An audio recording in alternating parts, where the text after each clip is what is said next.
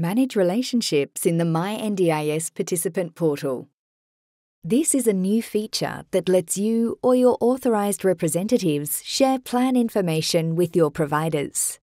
This feature is only available to participants with plan managed and or NDIA managed funds in your approved plan.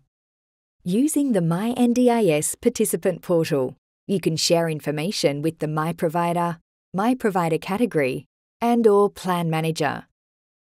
If you have NDIA managed funds, you can record My Provider and let us know if they can make claims against your NDIS plan.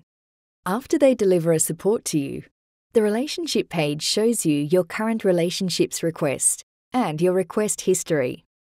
Your current relationships with your My Provider, Plan Manager, or Support Coordinator are seen in the Active Relationships tab.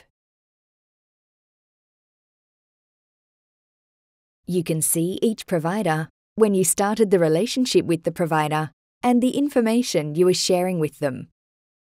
Press View to see more information.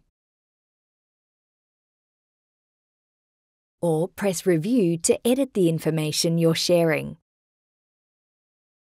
When you press View, you see more information about this relationship and the information you're sharing.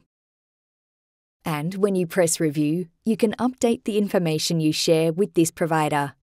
In this example, you can share your plan goals with this My Provider. The right side of the screen gives you information so that you know what you're sharing with your provider. To end the relationship with the provider, please contact NDIS on 1800 800 110. Press Update to save the changes. The provider will be notified of the change, and you can see updated relationships through the Active Relationships tab. My providers and plan managers can send you a request to see your information. They can send you a new request or ask to extend an existing relationship. If you have new requests to action, the tab Requests to Share will show you a red number this shows you the number of requests you have to action. Select the Request to Share tab to action these requests. Once the tab is open, select Respond to Action Request. You'll see the name of the provider, the type of the request, start and end date of the proposed relationship, and information in your plan you will be sharing with this provider. You can update some of the request and press Accept or Decline. This will either create a relationship, extend the relationship, or decline the relationship. The provider will be notified of your decision. This relationship can be seen in the Active Relationships tab. The Request History tab lists your previous request. You can select more to see the full details of this relationship. You can search for provider relationships using either the keyword search function at the top or by using search filters. If you have NDIA managed funds, you may be asked to check claims made by some providers after they deliver the support to you.